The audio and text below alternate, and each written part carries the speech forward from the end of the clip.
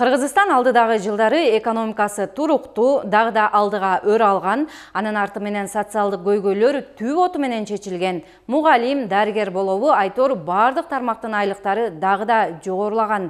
Өндүрүш ишканалары көбөйүп, жумуш жок деген маселе жаралбаган мамлекетке айланат.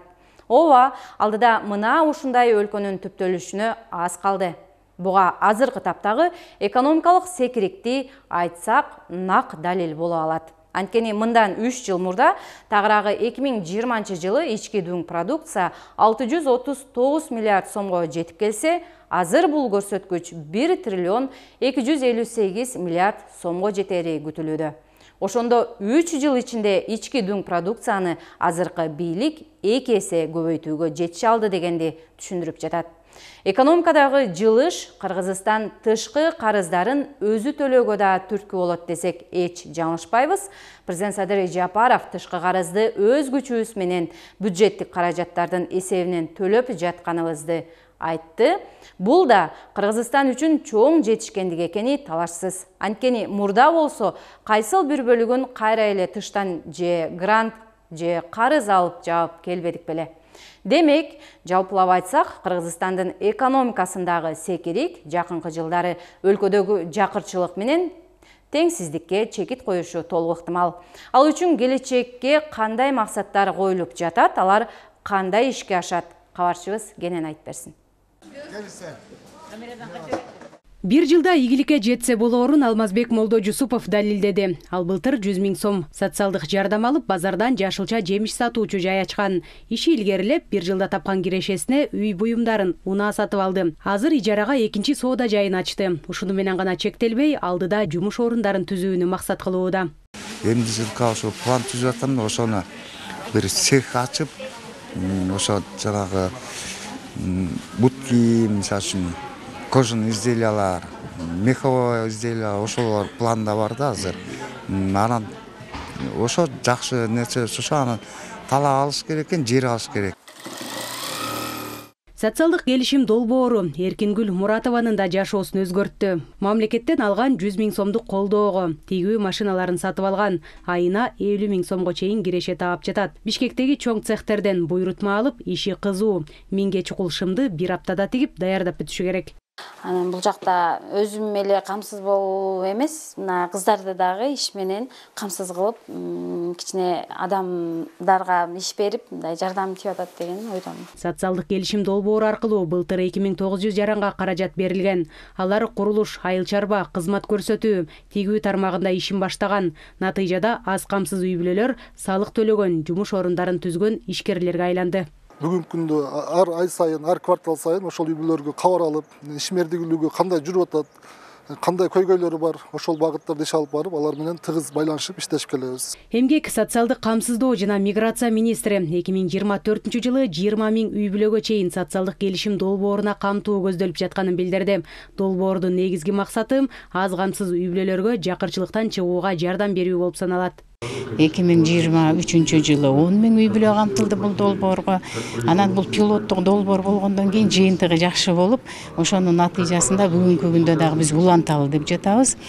Өлкөдө жакырчылыктын деңгээли эки миң жыйырма экинчи жылы отуз үч пайызды түзгөн. Улуттук статистика комитети жүргүзгөн сурамжылоого ылайык жакыр жашагандардын саны бишкек менен ошто азайган ал эми айрым аймактарда көбөйгөн результаты опроса национального соцкомитета кыргызской республики. Сурамжылоонун жыйынтыгы боюнча улуттук жакырчылыктын деңгээли эки миң жыйырма экинчи жылы эки миң жыйырма биринчи жылга караганда нөл бүтүн ондон бир пайызга азайган айрым аймактарда кедейликтин деңгээли арткан баткенде жети бүтүн ондон сегиз пайыз жалал үч бүтүн ондон тогуз пайыз наарында эки бүтүн ондон сегиз пайызга көбөйгөн в некоторых кыргызстан кедейликти жоюуну көздөйт. Бул өлкөнү өнүктүрүүнүн эки миң жыйырма алтынчы жылга чейинки улуттук программасында камтылган. Анда калктын жакырчылыгын жыйырма пайызга анын ичинде балдардын кедейлигин жыйырма беш пайызга чейин төмөндөтүү белгиленген. Апта ичинде жакырчылык жана теңсиздик форуму өтүп иш сапарына байланыштуу президент катыша алган жок. Бирок видео кайрылуу жасап жакыр жашагандардын жашоо шартын жакшыртуу көңүл чордонун дагы маселе экенин белгиледи. Менин тилегеним элибиздин жакшы жашоосун камсыз кылуу мына ошондуктан кыргызстанда жакырчылыкты жана теңсиздикти жоюу мамлекеттин бардык экономикалык каржылык жана социалдык саясатынын башкы артыкчылыгы болууга тийиш экенин баса белгилеп келемин. Өлкө башчы жакырчылыкты азайтуу боюнча аракеттер комплекстүү мүнөзгө ээ болушу керектигин белгиледи. Элдин жашоо шартын жакшыртуу үчүн токтоп турган ишканаларды жандантуу эски заводдорго экинчи өмүр берүү жаңы жумуш орундарын түзүүгө олуттуу көңүл бурулуп жаткан чак кыргызстанда акыркы эки жыл ичинде жумушсуздардын саны жети бүтүн ондон жети пайызга кыскарган. Жылына эки жолу ошо бош орундар жарманкесин өткөзөбүз. Жарманкеге быйылкы жылы ошо Э, ошо область боюнча э, кырк алты жарманка өткөрүлгөн. Анын ичинен ошо э, жыйырма төрт миң тогуз жүздөй ошо иш берүүчүлөр катышып алардын ичинен жумушсуздар он тогуз миң адам жумушсуздар катышып ошо иш менен камсыздоого ошо көмөк көрсөтүп келдик. Алардын ичинен ошо жумушка орношкондору жети жүздөй адам жумушка орношуп келди курулуш компаниялары тигүү цехтери жумушчулары жетишпей жатканын айтууда маселен үч жүз жаран иштеген бул фабрикага тигүүчүлөр талап кылынат бүгүнкү күндө аябай эле ошол швеяларга биз муктажбыз отуздан ашык машинкалар жумуш орундары турат өзүбүз дагы үйрөтүп өзүбүз дагы жардам берип көрсөтүп бергенге аракет кылабыз бизде постоянно жумуш болуп турат кыргызстанда тигүүчүлөрдөн тышкары ашпозчу айдоочу укалоочу косметолог электрогаз ширетүүчүлөргө суроо талап жогору бирок адистер жетишпейт. Бүгүнкү күндө бишкекте эле үч миңден ашык бош орун бар. Курулуш тейлөө жеңил өнөр жайы кафе ресторандар жумушчуларды талап кылууда. Калкты ишке жайгаштырууга көмөктөшүү борборлору бир айдан үч айга чейин акысыз окутууларды жүргүзүп адистерди даярдоого көмөк көрсөтүп жатат. Биздин башкармалыктын астында э, кыска мөөнөттөгү бекер окутуу курстарыбыз бар. Бул э, он алты бизде окутуучу жайларыбыз бар он проф лицейлик кесиптик проф лицейлер андан тышкары алты э, окуу борборлору бар. Бул окуу борборлоруна бизден алтымыштан ашык кесип тандоо боюнча бизге каттоодо турган жарандарыбыз ар кандай э, кесиптерди өзүлөрүнө окуп дагы э, кошумча кесиптерди ээ өлкөдө орточо эмгек акынын суммасы отуз эки миң сомду түзөт. Бул тууралуу улуттук статком жарыялаган маалыматта айтылат. Жарандар мамлекеттин негизги байлыгы. Алардын жашоо шартын жакшыртуу артыкчылыктуу багыттардын бири болуп саналат. Ал үчүн өлкө экономикасын өнүктүрүүгө аракет көрүүдө натыйжа жаман эмес. Тогуз айдын жыйынтыгы менен ички дүң продукттун көлөмү сегиз жүз сегиз миллиард сомду түзүп төрт бүтүн ондон эки пайызга көбөйгөн.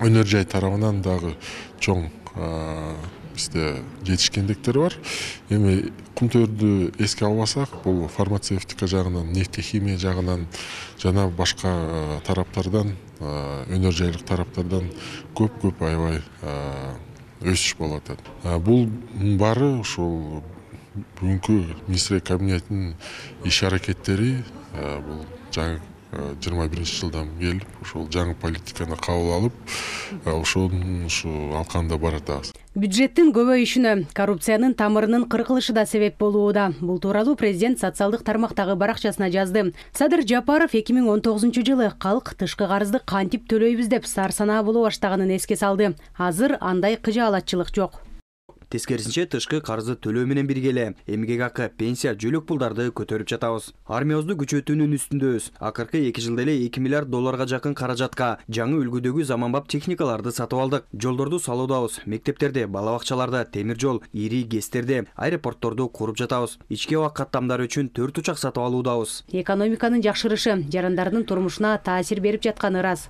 дүйнөлүк банк жүргүзгөн социалдык сурамжылоого катышкандардын сексен бир пайызы өлкө экономикалык реформанын туура жолунда баратканын белгилеген ал эми токсон эки пайызы мамлекеттин экономикалык абалына оң көз карашын билдирген акыркы үч жылда кыргызстанда мамлекеттик кирешелер өсүп амбициялуу программалар ишке кирип өнөр жайды өнүктүрүү эл аралык инвестицияларды тартуу боюнча олуттуу ийгиликтер жаралды десек болот. Ички дүң продукциянын өсүшү эки миң жыйырманчы жылы алты жүз отуз тогуз миллиард сом болгон болсо миң жыйырма төртүнчү жылы экономикабыз бир триллион эки жүз элүү сегиз миллиард сомго жетет деп күтүп жатабыз үч жылдын ичинде ички дүң продукция эки эсеге көбөйдү менин түпкү максатым жалпы элдин жашоо шартын жакшыртуу үчүн экономиканы өнүктүрүүгө жетишүү мен дал ушул милдетти мамлекеттик бийликтин бардык системасынын алдына коюп жатамын. Салыктардын бажы төлөмдөрүнүн көп чогулушу экономиканын көмүскөдөн чыга башташы менен маяналар социалдык төлөмдөрдүн өлчөмү көбөйүүдө калктын жакыр жана социалдык жактан аярылуу катмарына социалдык төлөмдөрдү төлөөнү көбөйтүүнү камсыз кылуу негизги аракеттердин бири болуп кала берээрин садыр жапаров белгиледи биздеги бүгүнкү күндө үч жүз миңден ашуун жараныбыз социалдык жөлөк пул алышат ошол жарандардын жөлөк пулдары акыркы эки жылда жүз эки жүз пайызга көбөйтүлдү акыркы үч жылдагы ийгиликтер гүлдөбөнүккө мамлекетти куруу үчүн дымактуу максаттарды коюуга бекем негиз түздү. Мындан улам улуттук өнүгүүнүн беш максаты аныкталды.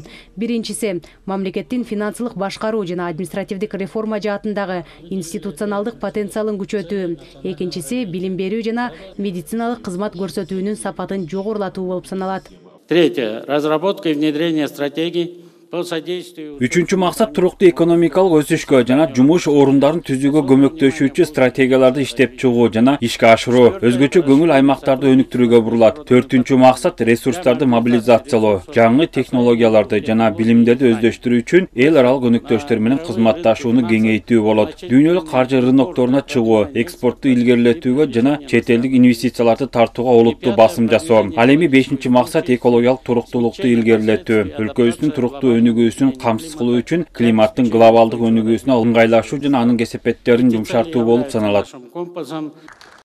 Акылбек жапаров кыргызстан жакырчылыкка каршы олуттуу аракеттерди көрүп жатканын бул иш улантыла берерин билдирди. Белгилей кетсек бириккен улуттар уюмунун жакында жарыяланган туруктуу өнүгүү боюнча баяндамасында кыргызстан жүз алтымыш алты мамлекеттин ичинен кырк бешинчи орунду ээлеген. Эки миң отузунчу жылы мыкты отуз өлкөнүн катарына кирүүгө умтулаарын президент белгилеген. Жазгүл сейдахматова элдар анарбеков лтр жума сереп